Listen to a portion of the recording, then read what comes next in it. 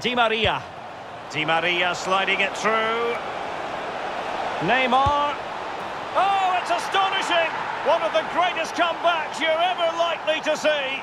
And now the question...